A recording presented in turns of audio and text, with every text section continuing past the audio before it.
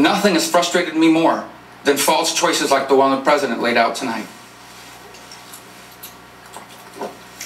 The choice isn't just between big government or big business. What we need is an accountable, efficient, and effective government that allows small and new businesses to create more middle class jobs.